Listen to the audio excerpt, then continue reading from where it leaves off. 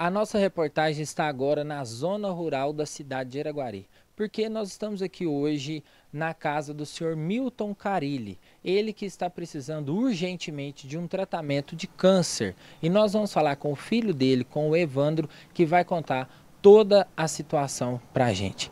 Evandro, muito obrigado por nos receber aqui na sua residência. Conta para a gente como que está a situação do seu pai. O meu pai hoje se encontra com muita dor e já há quase três meses atrás, a Secretaria de Araguari passou, passou para Uberlândia, para o Hospital do Câncer, só que até ontem não tinha chamado.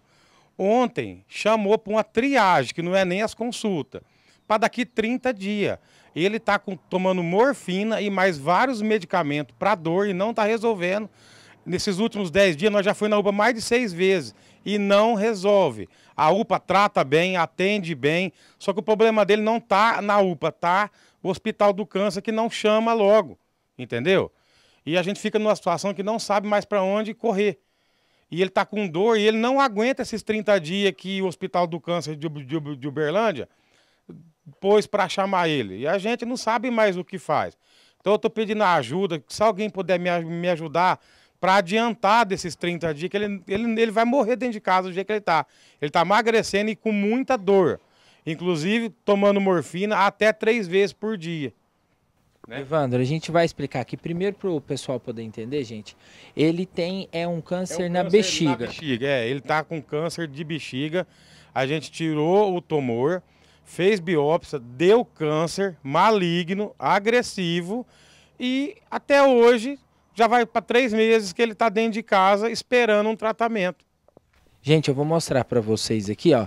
É carcinoma urotelial papilar de alto grau invasivo. Então, é, o médico explicou para você, Evandro, o que, que significa? Ele, ele falou que se demorar, vai ter que operar, tirar a bexiga e sabe mais o que.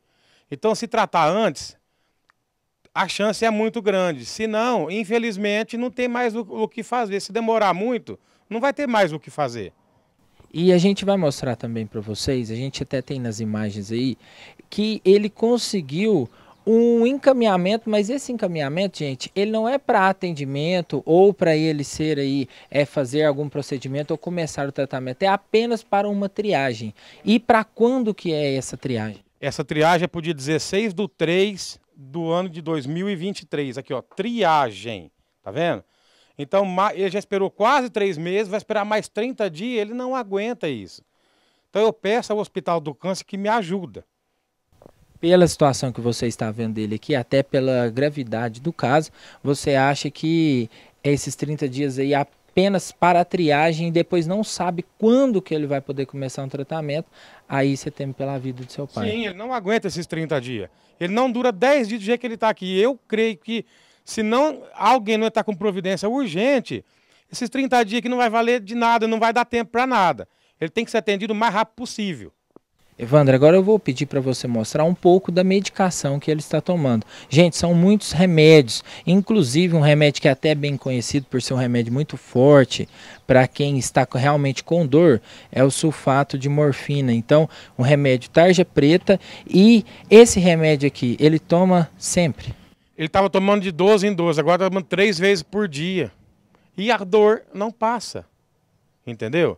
Então tá muito difícil de segurar ele em casa mais 30 dias. O que, que você acha que vai acontecer? Nesse, do jeito que, que, que ele tá, com essas dor, doendo, tomando esse monte de remédio, esperar mais 30 dias, ele não aguenta. Ele tem que ser atendido imediatamente.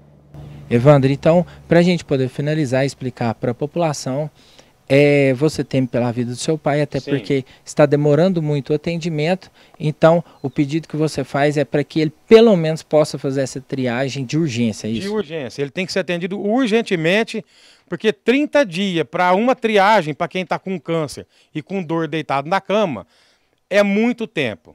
Está aqui o documento que prova que saiu a triagem. Gente, então, Milton Cardilli, ele que está aí agendado para o dia 16 do 3, o mês que vem, é daqui um mês, é, daqui um mês ele vai conseguir fazer a triagem, mas a família teme porque eles acham que está muito difícil, ele está sentindo muita dor e a dor não passa, ele precisa de um atendimento especializado de urgência, pelo menos para saber o que, que ele precisa fazer. Muito obrigado pela sua Eu participação e pode deixar o seu recado aí para o pessoal.